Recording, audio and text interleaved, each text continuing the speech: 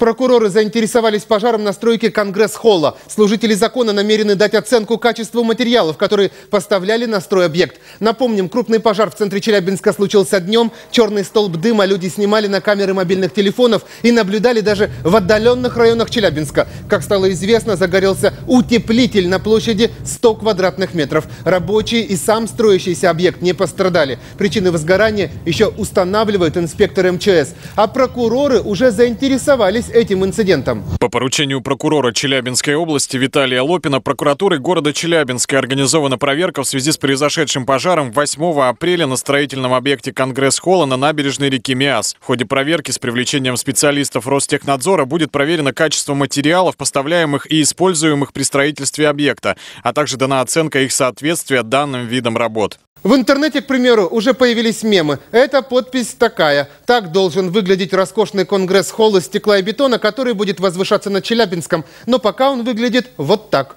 Стоимость этого здания оценивается в 20 миллиардов рублей. Построить его должны к 2020 году.